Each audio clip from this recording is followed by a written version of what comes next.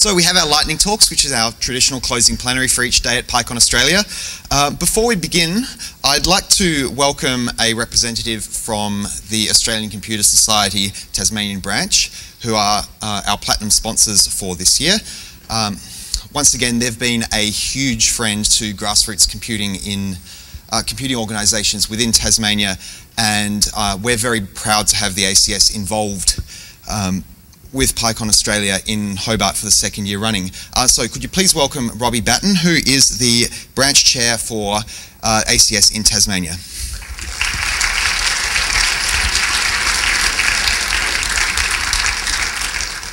Thanks, Chris. Uh, I'm going to be very, very brief, uh, which I'm sure you'll all thank me for, because you're here to listen to lightning talks and not to me drone on. Uh, the ACS is really excited to be involved with PyCon again this year. Uh, we were very keen to find out about it when Chris came knocking last year and chatted to us about it. And uh, we were really excited when we actually got to participate in that event and really impressed with how it was run. So when they came up that it was back here again this year, uh, it was a no-brainer for us. We wanted to be involved. Uh, from my perspective, uh, PyCon is everything that an ICT event should be. Uh, it is engaged and it has a great outreach program uh, it has great rules to make sure that everyone's treated fairly and equally and that everyone can be involved and has a great passionate community that really seems to be welcoming. So uh, for me, I really want to also put out a thanks to Chris and all the other organisers behind the scenes who are putting on a really good event once again and setting an extremely high bar for whoever's organising next year. So I'd like to actually ask for a round of applause for the organisers.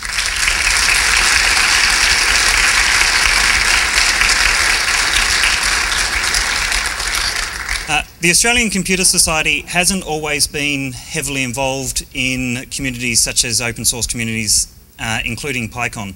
Uh, we have always had lots of members. We've got over 20,000 members Australia-wide, and we've always had lots of members involved in these communities, but the organisation itself uh, has at times been a little bit remiss in that fact, uh, something that we're trying to change. we've been around since 1966, which is a long time in ICT, and that brings challenges. It makes it very hard for us to stay dynamic and to keep up to date. And it can make it difficult for us to be involved in all the areas that are really driving ICT forward. And it's a challenge we're trying to tackle. Uh, that's where we hope that we can get support from communities such as uh, PyCon and the Python programming community to help us stay relevant and to help us keep delivering value to the ICT community. Uh, I won't try and pretend that we're expecting to get lots and lots of members out of this event. That's not why we're involved in these events. We're involved in events like PyCon because these events really help drive the community to keep ICT moving forward. And whatever benefits the ICT community benefits our members. So that's why we're here, uh, and that's what we're all about. Uh, so what I would like to just highlight is some of the things that we do do, and if any of it interests you, the most important part about the ACS is that our members are the ones who actually drive things. So if you get involved, then you have a chance to actually have influence over what we do. Uh, but we do offer professional development and quite an extensive amount of professional development to our members. Uh, we offer internationally recognised certification uh, that rec it's recognised in pretty much every developed nation in the planet. Uh, we are, operate advocacy at the state and federal level and you may have noticed that the federal government's cloud strategy that they're finally getting around to doing is actually being led by the Australian Computer Society. So we're heavily involved in that type of environment if you're interested in making a difference there. Uh, we operate a number of specialised communities of interest. Uh, we do curriculum development and any of you have an ICT degree from Australia or are studying, that degree was certified by the Australian Computer Society because we work with every university in Australia to do that. Uh, and we do things like offer our members professional indemnity insurance, which is included in your membership fees and so forth. Uh, so if any of that does interest you and you're not a member, I highly recommend either contacting the Tas branch if you're Tasmanian. If you're interstate, have a chat to those, uh, your local branch. I'm not going to promise that you're necessarily going to talk to them and find out that that's exactly what's going to add value to your life. If it's not, all I ask is that you let them know why because as a society we need to stay relevant and we're really keen to hear from people, especially the people who don't think that we are relevant. Uh, so I'm going to leave it at that. Uh, I hope you all have a great conference. I hope that these lightning talks are inspiring for you. I've been looking forward to it because I missed out last year on the lightning talks. And I'll hand back over to Chris.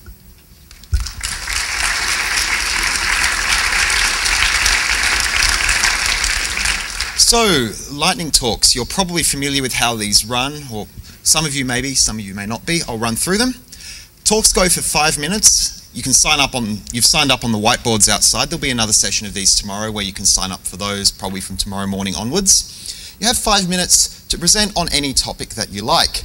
We strictly enforce this time limit. Um, today, our stopwatch has actually been provided by Moore's Cloud, and you can see it on the table in front of me. I'm just going to start a countdown now on it. And you'll see it starts at green. And from two minutes onwards, it fades down to yellow. And from 30 seconds onwards, it will start blinking. So hopefully that will be a nice, easy way for you to spot when you're running out of time for the speakers. Um, so we have 11 lightning talks today who have signed up. Our first will be from Simon Mears, and that will be followed by Frank Sainsbury. So, Frank, if you could come up and set up here, our AV people will come and make sure that things are going for you. Um, so, uh, over here, Frank, this side. So, Simon, your time starts now. Okay, am on? You hear me? Okay. Um, so this isn't necessarily a plug for anything, it's just me trying to be helpful. You can take it or leave it. We are, I assume for the most part, programmers who have relatively sedentary jobs, unless your desk looks like this, or like this.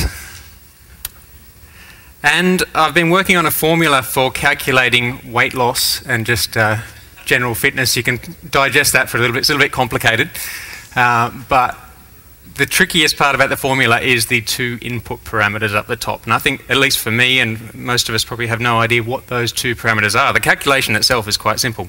There is also, of course, balancing out uh, the types of foods that you eat as well, and knowing how much you should put in and how much your body is actually burning each day as well. And until recently, I had absolutely no idea.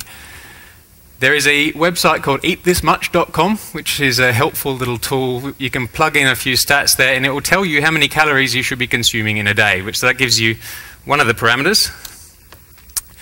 And the other parameter you can calculate by um, putting foods in. You can add custom foods, and I can see that that BLT would cost me 307 calories out of the 2,000 or whatever I'm supposed to eat in a day.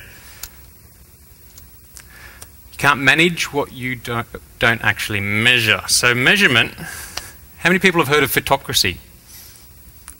Well, probably 30%. It is largely inspired for gamers who are addicted to things, and we've seen a lot of people turn their addiction to gaming into an addiction for fitness. I actually found it thanks to Randall Munroe. Uh, a few of you may have seen that before. It's also been on Penny Arcade. The idea is that you uh, log exercise, so it helps you to keep a record, that's the measuring part, and gives you points for it. Of course, you can game the system completely, that's not the point. You're supposed to be um, keeping yourself accountable and encouraging others to do so as well. There are groups, so it's a bit of a social network with a fitness bias.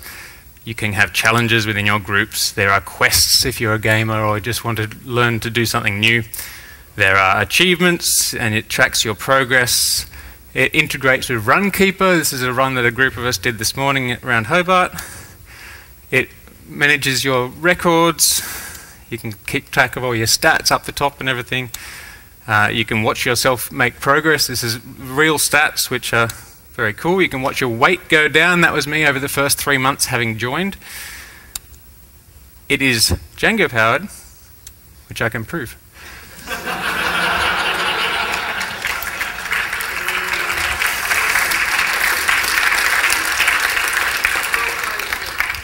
So just a tool, doesn't work for everyone. Try it out, see if it works for you, but I encourage you to use something even if not that.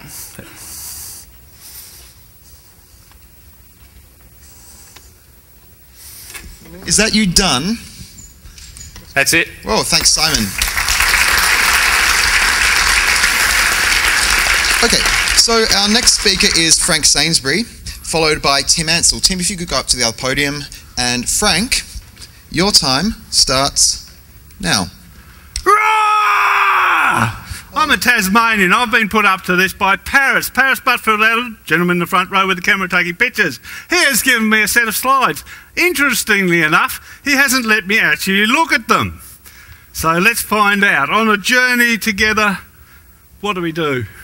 I need your help. That's obvious, as long as one of you is a psychoanalyst.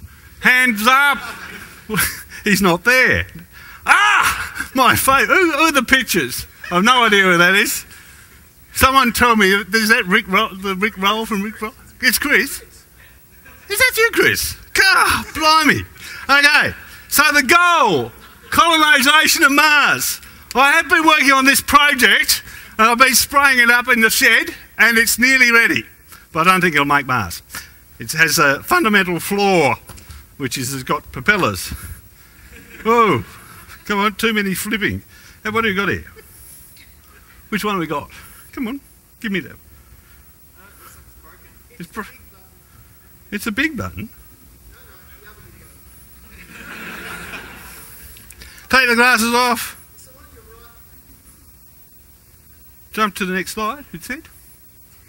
Jump to the slide. Only Someone showed Frank how to advance his slides. Yeah, quick.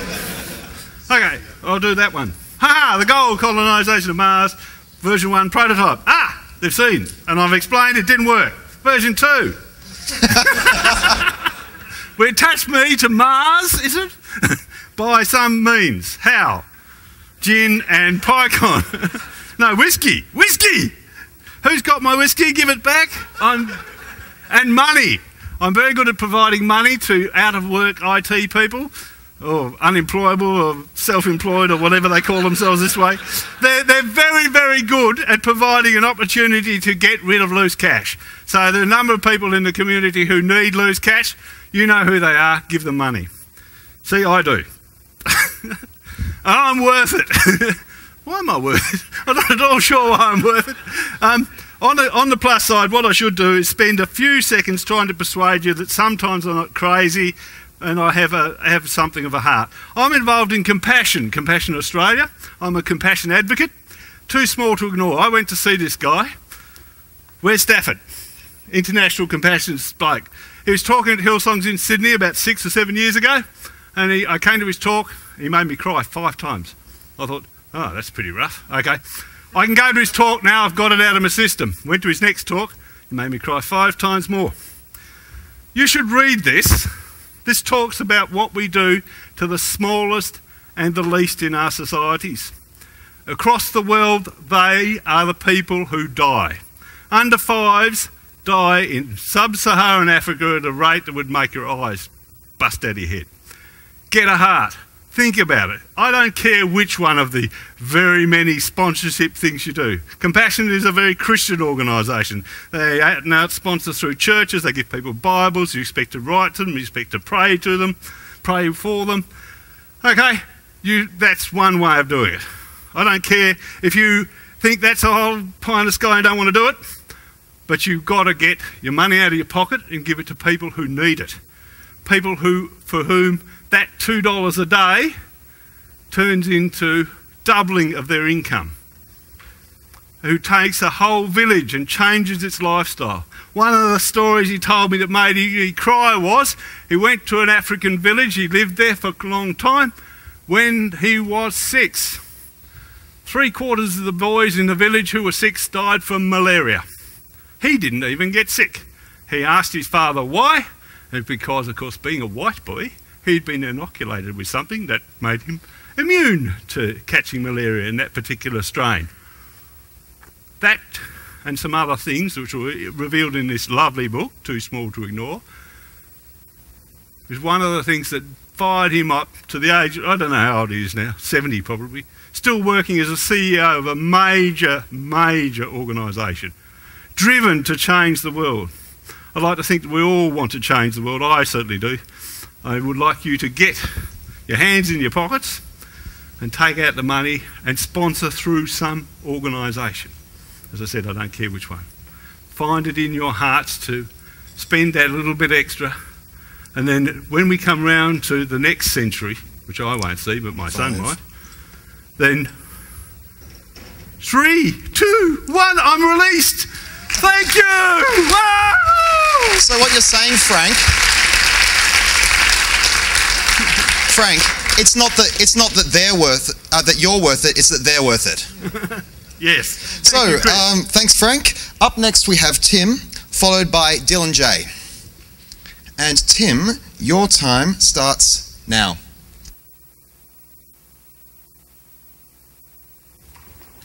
Can people hear me now? Um, so I was originally going to do 10 projects in five minutes, but I decided that was crazy, so it's five projects in five minutes, which is probably still very crazy. Um, first project I'm talking about is Python datetime TZ. Um, if you're using date and times, you should be using UTC. Um, if you're using date and times in Python, you should be using datetime TZ. It's a drop-in replacement for datetime that actually does time zones. Um, it cares deeply about time zones. It figures out your local time zone in like a bazillion different ways, and it like works. Um, I'm kind of a bit biased because I wrote it, but um, it's definitely worth using. Um, it has a bunch of other things like it supports um, parsing through the dateutil library. It uses pytz. I didn't re-implement that and it supports going to and from Unix timestamps, unlike the original datetime library, which seems to hate Unix timestamps for some reason. Um, that's where you get it. It's on the thing. Please help me make it everybody use it um, because date times are hard and time zones are harder. So please use that. Um, I recommend that you also take a look at IPython Notebook. Um, great tool for writing Python quickly, especially if you're a noob, um, which I am most of the time. Um, it looks kind of like this. You get lots of graphical, cool stuff. Pretty awesome. Um, if you're more of a command line junkie, um, I recommend BPython. It's basically a graphical command line console. It takes IPython and like adds steroids, um, so you get like online help and tab completion and all those type of things. Um, so now I'm going to ask you to help me. Um, I have a bunch of unfinished ideas. I'm be at the sprints. I would like your help to make them finished ideas. Um, first one's called Tim Videos. Um, it's a platform for videoing conferences like this um, and streaming them onto the web. Um, as you can see, it's made up of a bunch of different projects. I'd like your help with all of them. The GST switch and the streaming system are both Python-based. The website's Python and Django-based. Um, so um, I need your help.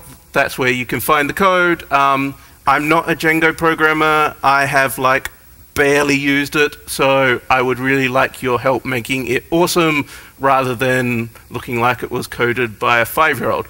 Um, the other thing I'd like your help with is a thing called Tim's Finance. You might notice a naming scheme here. Um, so, so original, Tim. Um, last uh, last year, um, I forget your name, sorry, um, came up and gave a presentation about Selenium scraping his bank details. Um, before that, I already had the same idea. Um, turns out fools think alike. Um, it's Django based. Um, it turns out banks are stupid and don't give you like unique IDs for transactions. They give you a file which has some type of description and maybe a date if you're lucky. Those things all change, so I wrote a base class which deals with all those stupid things. All you have to do is write a little Selenium program to give it CSVs and then it imports into database. I don't have a front end, it's all Django based. I need help with front end stuff. It does things like regex based um, categorization. It does things that banks hate, like doing fee matching so you can figure out where your fees are going. It supports transfers because I'm not an accountant and think if I move money around, it doesn't make any difference. Um, it supports multiple currencies, country extraction, tries to do anything, everything. Um, I would really like help. I haven't had time to work on it. Um, that's where you get the code from. Um, I seem to have managed to get through the five projects, so here's a bonus project. Um, Zookeepr is what runs the conference um, website. Um, it also runs the Linux Conf.au website. it's an open source project. I highly recommend you help out. I'd really love to see the mobile UI that's been floating around merged into Zookeepr and a whole bunch of other things. Um, it's I don't actually know what this uses, um, but I highly recommend you hack on it at the sprint. And I'm over. Excellent. Thank you. Thank you very much, Tim. Okay, so up next we have Dylan Jay, followed by Nick Farrell. Nick, if you could go to the other podium and make sure things are set up. Um, Dylan, your time starts now. Um, so just before I start, I've been asked by my friends at, uh, uh, in Japan to uh, give a plug for PyCon um, APAC. So uh, how many people have been to Japan before? If you haven't been to Japan, it, I've been a lot around Asia. It is one of the most uh, awesomely different, weird, amazing places. So if you want a Python holiday with a difference, APAC, it's the close of the close uh, for for the closing date was 9th of July, so you got to get it uh, in quick for your um, uh, to give a presentation. So what I want to talk about uh, was uh, robot framework. Uh, how many people heard of robot framework? Not very many. Good, excellent. So we were asked recently um, by the New South Wales government to develop a application in order to register all pools in New South Wales. So how many people are, own a pool in New South Wales? You should have used this application to register your pool. Excellent. Um, so we had this problem. We had to fix it. Um, we had to test, sorry, the, the application we were building to make sure that it worked. Uh, and we wanted, it was going to involve JavaScript. We use uh, lands property information um, widget in order to work out addresses and stuff. Um, so it had to work with JavaScript. So we needed a different um, testing framework than we normally do. Um, so once this kind of loads up, you'll see it actually run through. Um, there's a lot of testing frameworks. There's, uh, we were using Test Browser before, but there's WebTest, there's, uh, uh, um, there you go.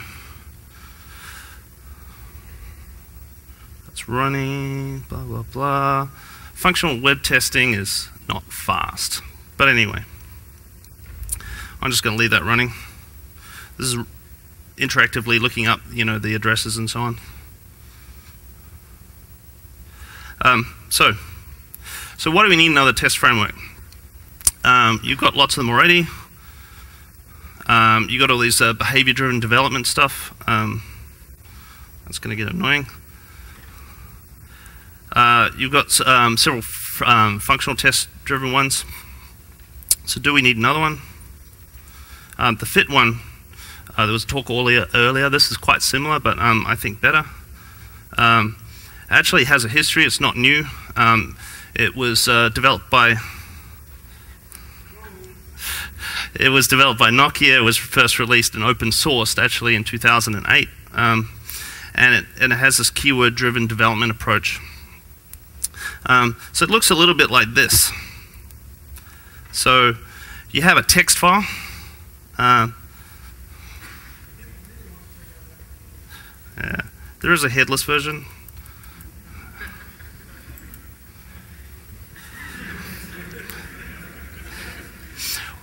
There's two ways to run it. By the way, there's a uh, there's the natural uh, the inbuilt robot framework runner. So you don't, um, but I'm using something called Robot Suite, which integrates it into um, your normal unit testing framework. So you can use layers and everything like that. Um, it's a little bit new, uh, and it doesn't really like Control C that much because it runs sub processes. Um, so. So it's a functional web.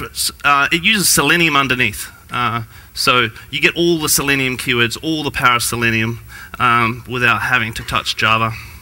Um, so it tests JavaScript, which is what we wanted, but it's also written in Python. Uh, the Plone community just switched, uh, recently switched all their um, functional web testing to using Robot Framework, so I thought good idea to have a look. But it's actually a generic testing framework, or generic functional testing framework.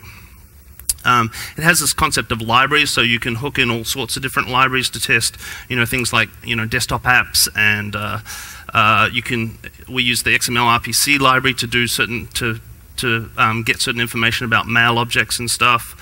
Um, there's a telnet library, there's process library, there's XMLs, etc. So it has this idea of a text file, and you can see the test case is, is kind of designed to be reasonably uh, easy to read. Um, you have a bunch of these different test cases. Um, so keywords, the real idea of keywords is to try and hide the details. You want to kind of modularize your tests. Um, my aim personally is to try and have tests I can give to clients. Um, they, they take arguments. There's these uh, different ways of. Uh, it supports the Gherkin syntax, um, and Robot Suite works with layers, and that's uh, more Two, information on a robot One. text. Thank you very much, Dylan.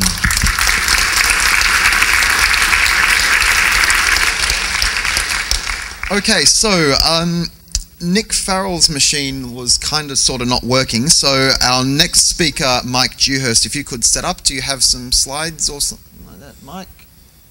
Uh, so we'll just give you a moment to set up on that podium over there. Ryan will help you, and um, just twiddle your thumbs for a few minutes while the AV gets set up.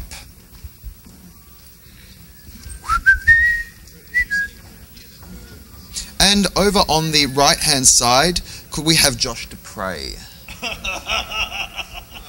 yes, that one. So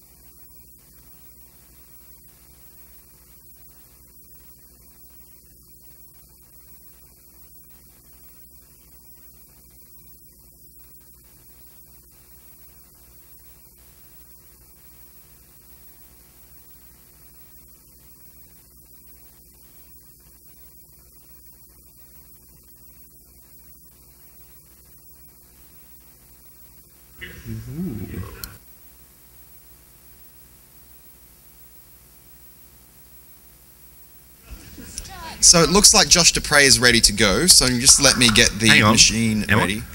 You are on. So Josh, your time starts now. Oh, uh, hello. Stop it. He only has five minutes. I, I didn't expect such a response straight off the bat. Okay, so um, I'm the other Josh, and uh, this is a lightning talk about Code Wars, which hopefully most of you went to last night. Uh, it was the second Code Wars I was responsible for arranging, and so I thought I'd better get up and talk about it. So a long, long time ago, uh, that man over there, Chris, um, basically we had a chat and he asked if I could organise a Code Wars. Um, I don't really understand why he did this, um, especially um, considering how deranged I am, but YOLO. So um, tip number zero I have is if you want to start a war, start by getting shanghaied by Chris. Okay. So at that point, I was clear to start Code Wars, and um, obviously, when you're embarking on a new endeavor, it's very important to do basic research, um, especially in things like Code Wars. Anyone who's done higher research, like a master's or PhD, will agree that the most important part of research is Wikipedia. Wikipedia is full of fun facts, such as um, the existence of the Cod Wars. So this this was an actual dis- an actual um, fishing territory dispute between the Iceland and the UK, um, and this demonstrates the first thing that I um, developed about Code Wars, and that is always offend the enemy with lame jokes and bad puns the whole way, as often as possible. The enemy is the audience. So, a Code Wars is a competition for coders, and um, it's fought and won with code. That means the puzzles have to be interesting and um, challenging to programmers. So, first of all, what appeals to programmers, uh, such as these types?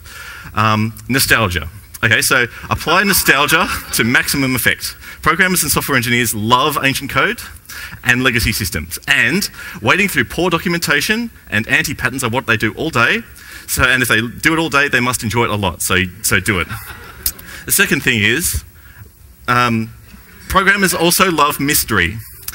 To adequately fill up the 20 minutes per problem, you have to give them as many possible directions to investigate and no hard clues about where to go to solve the problem. This is also a direct parallel to their day jobs, which they must certainly enjoy. Many modern developers love stylish, abrupt font changes, colourful background imagery and text, and animation, such as you can obtain with a marquee tag or GIFs. So cheap effects give you a lot of bang for your buck. And finally, developers love working with text. Provide lots of text. It doesn't matter what the text is. Something totally irrelevant and even utterly offensive to logic and reason is perfectly acceptable. So that's what appeals to programmers. Now I shall describe how to build problems that challenge them. Each puzzle should take roughly 20 minutes to solve. Developers that come to PyCon tend to be fairly talented, so you trip them up with basic techniques such as the Spanish Inquisition method. You pick a method that nobody expects because it's too obvious. Encode the secret in the most basic way you can imagine.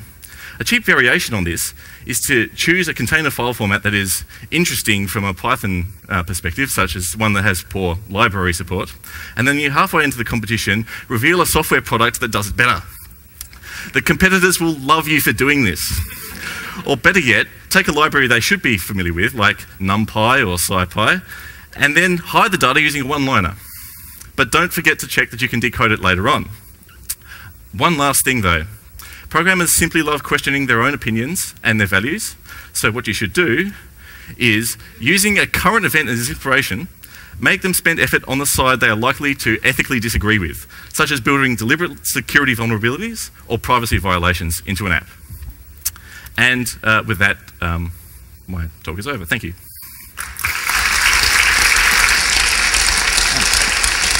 Thank you very much, Josh. Um, and to everyone else, I'm so, so sorry. Um, so, Mike Dewhurst, do I see somebody's uh, machine working over there? Ryan? Is that, uh, are we getting, are we getting a new machine working? Okay, so Mike Dewhurst is up next, and uh, followed by Peter Lovett on this machine over here. So, uh, Mike, your time starts now.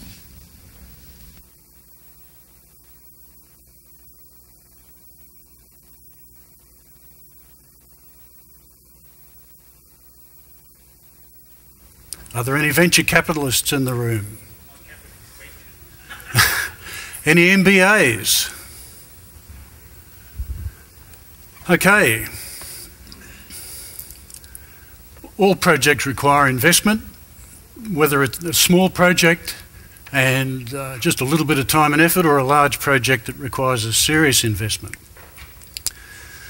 So, who invests without a business plan? On account of the uh, no venture capitalists in the room, I'm quite comfortable saying this. I, I needed to start a project um, a couple of years ago, and I went around to the venture capitalists, and that's exactly what they said.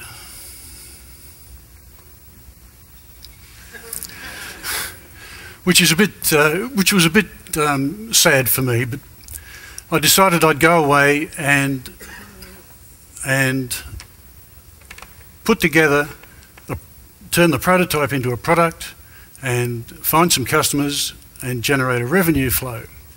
In order to do that, I needed revenue, but I didn't have any. So what I did was write a framework for recruiting resources and putting a, a team together. And I put it up on um, GitHub, it's a sweat equity framework, which I enjoyed doing. And I, I, I, don't know whether this is going to work. If we've, you might have to switch off your your um,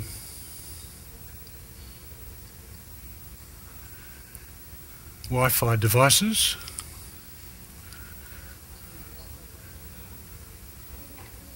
Are we getting there? Aha! The equity agreement is the, uh, the key to all this. It's, it's probably not worth looking at here. If you're interested, um, that's the address. But essentially what it says is that you have to have an equity plan and you have to be able to convert time and effort into equity. And the key to it is eventually you're going to get a venture capitalist involved. And at that point, the sweat that's been turned into equity can either be left there or converted into cash at the same rate that the, the venture capitalist invests in. And if you keep it in there, the equity agreement says you can continue to hold it and every month you get an opportunity to trade it in-house and the price of that equity to be traded in-house will be at the most recent external investment or whatever anybody cares to pay for it if it's above that. So that's essentially it. The other guidelines um, I'll leave to your um, uh, perusal and uh, they suit me, possibly they'll suit you. Thank you.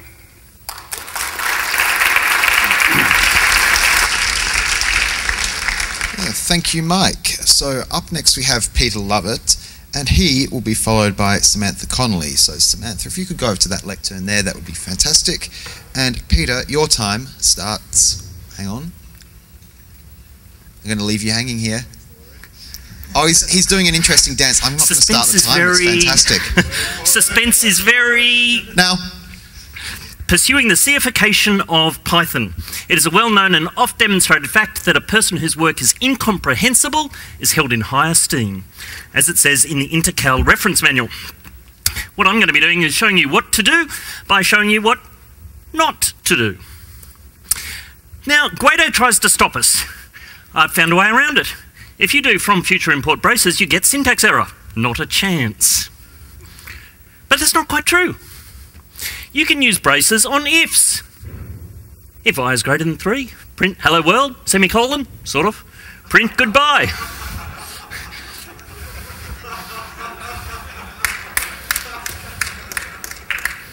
You can use it on loops. While true, print hello world, semicolon, sort of, goodbye. You can indent however the heck you like. This is all valid Python, works a treat. You can put the braces wherever you like. If it's indented by one space. A couple of small problems I've come across, like the order is wrong, and you have to do an even number of steps. Doesn't matter. You can use semicolons. They've worked in Python since like ever. If you're going to make it look like C, you may as well wrap your tests in parens. You can even use pre-increment.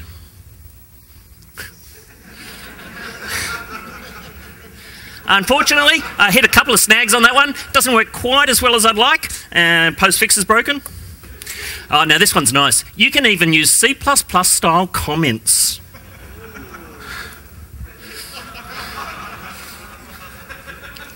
Bonus point if you can tell me what J is.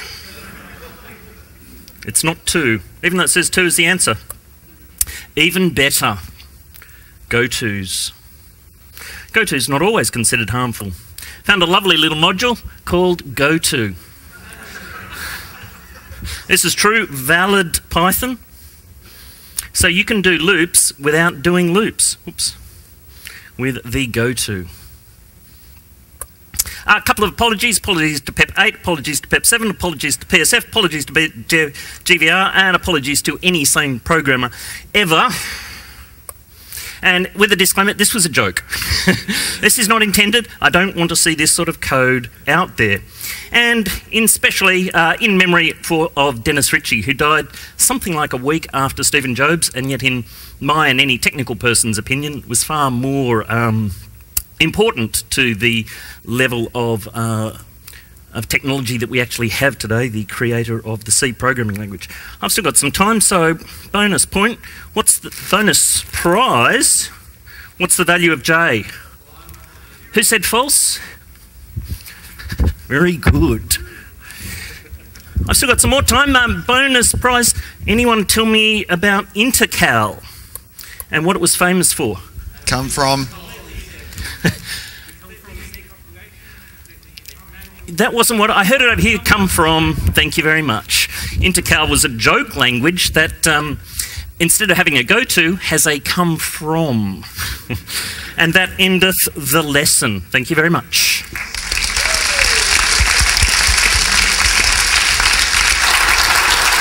So I was going to have you ejected from the conference for uh, causing severe of- offence to everybody in this room, Peter. But thank you for the bribe. Uh, so up next we have Samantha Connolly, followed by Nathan Faggian. Um, so Samantha, your time starts now. So, how do we promote IT? Is Python the answer? I can't give you that answer, but I can at least give you some ideas. So, there is a, an issue. Apparently, even though we've had amazing turnout today, we've had record breaking numbers uh, uh, come to this conference this weekend, um, there's still less and less people studying IT past grade 10 or wanting to study technology or anything like that. There is a survey, the ACS have done it, um, it says so. Um, but there are, everyone uses technology. All these young people have phones every, or they have the internet at home, or they're, they're always on social media, or they're always doing something with technology, but they don't necessarily want to learn or want to get into it. How can we address this issue? So, in my opinion, and I'll just state that again, it's my personal opinion, don't take it as fact or whatnot. Um, teachers may be misinformed about careers in technology. They may not know how to promote it.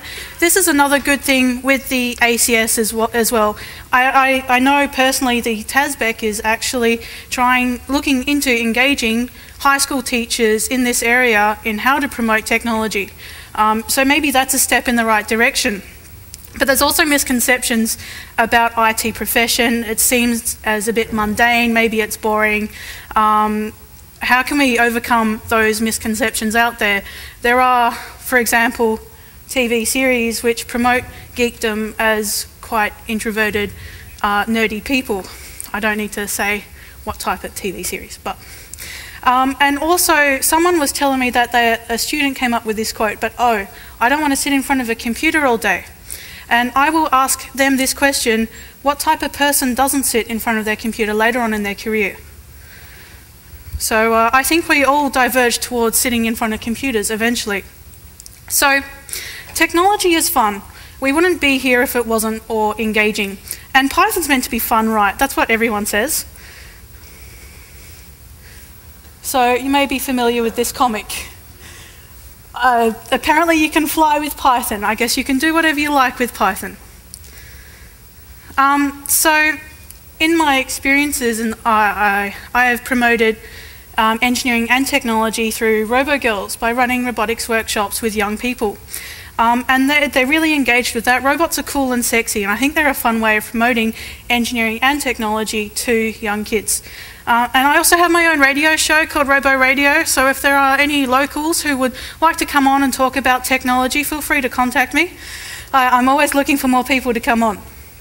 Um, but that's also helped me be able to talk to people. Uh, and I think that's what we, we need to do as an industry is just talk to people about our ideas and our technology and what we can do. So because I've run robotics workshops, I'd actually like to see if I can run Raspberry Pi workshops with Python, see if I can engage children um, or young people with Python as a language. How can I teach um, other people who are non-programmers about Python? It's meant to be fun, right? So anyone can do it. Um, so I'd also, I know there's a Java operating system for Lego Mindstorm as well. Um, and I like to say that that's quite fun. Um, is there a version of, I know there is an old version of Python for Lego Mindstorms, um, but I'd like to see maybe an updated version which has just as much support as uh, leJOS, which is the Lego Java operating system. Um, I'd also like to explore Arduino robotics and Python. Maybe there are some interconnections there that I'm unaware of, uh, how I can promote this more. So also maybe some other side notes. I could potentially run building a basic app for Android with, with young people uh, that might engage them somewhat. Um, and also graphical programming is quite fun. I enjoy promoting engineering and technology to kids using the Lego Mindstorm software. It's all graphical, and I've got these. Uh, I'm tutoring these year four, year four kids, and they're adamant they know how to program because they can use this NXT software. I mean, like, sure, it might be uh, a misconception. Oops, wrong arrow. And I have a conclusion. Um, I don't have answers, but we need to have these conversations with people in our community to get the word out there about technology.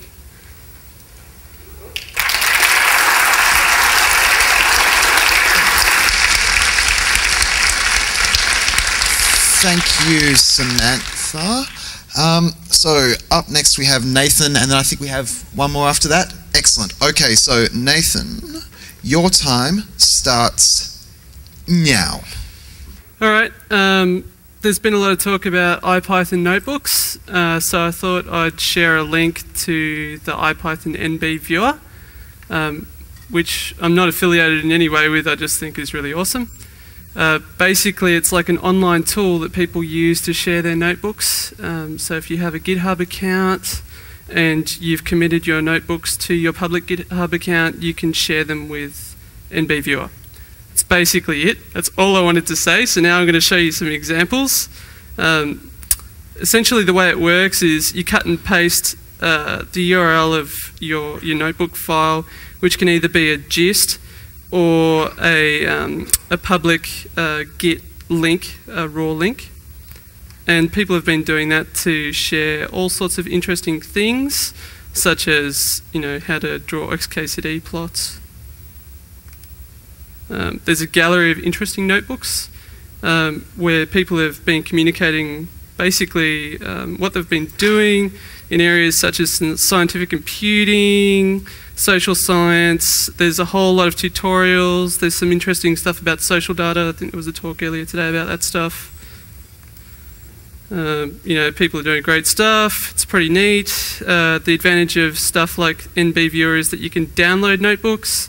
So once you download a notebook, you can load it into your public, uh, I mean your local uh, notebook viewer and then run them and you own the code. So it's a really good way of sharing things. Uh, okay. What have we got here? People plots. People plots are cool. People are doing people plots. Uh, XKCD plots. So the the idea is that this is just a really open way of communicating your your ideas. Um, the guts of it is if you have a GitHub account, which I have, um, and you've put your IPython notebook file, which is sort of like a JSON file up there, you can get to the raw URL link. Once you get to the raw URL link, you basically cut and paste that URL into the IPython notebook viewer and you click go. It's probably not going to work, but it will and it does. So you can basically generate um, these these links that then you can send to people. They can introspect your your notebook files. So this is all being dynamically rendered.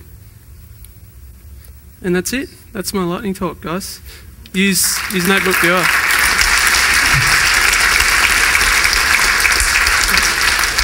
Thank you very much, Nathan. And I understand that um, Nick Farrell has fixed his laptop and is now ready to go. Uh, so your time starts now. Hello everyone.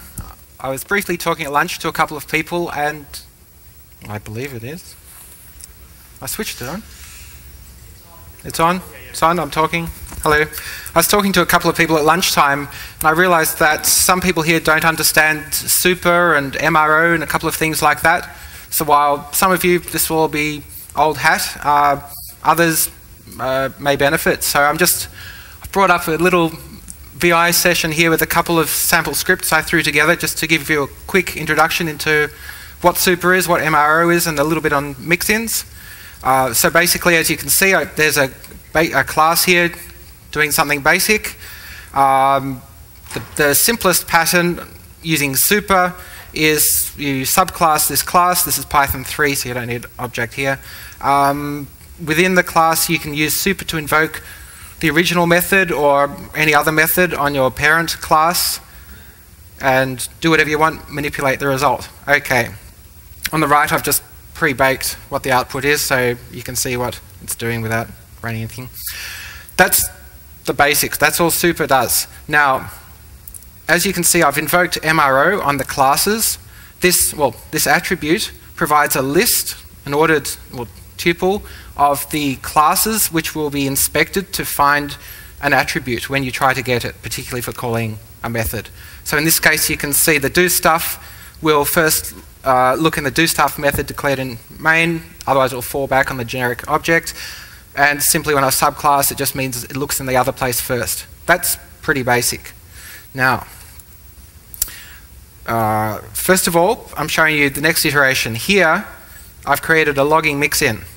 So this is still specific to foo, but the intention is that somehow or other, you want to combine the two. You want to have this derived class do your foo behavior, but you want to use this nice mix in, which is at the moment uh, not very agnostic, to do some print statements around it.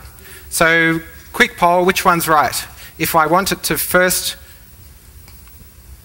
look, uh, first try the logging mix in, and then its super should be the do stuff, which one goes first? Is do stuff 2 correct or is do stuff 1 correct? Hands up if you think do stuff 1 is correct. Hands up if you think do stuff 2 is correct. Well, 1 is correct. So you are, more of you are right than wrong, but most of you didn't know. So, okay, so the right, the right thing, like I say there, is 1, so it just means you read what I said. Uh, okay, jumping along, I'll move across, so that was the output of the previous. This is the enhanced version. This is, uh, it could be done better, but this is showing how you could make a mix in which is more agnostic. In this case, I don't care what method you call on the base class, I'm going to intercept it using get attribute. I can print some info about it, then I'll call the real method, pass back the result. In this case, I'll also log the result before I come back to the parent. If I, I could use functools, wraps, etc. to make this look a bit nicer, but that's not what this is about. This is just an example of how you can harness the advantage of making a mix in, drop it in. Just a brief taster as to the introduction to it. That's all there is. Hopefully some of you have benefited from this. Thank you.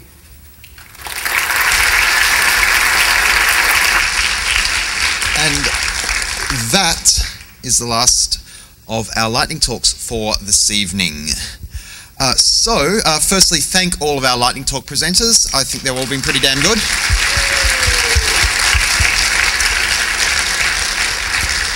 Okay.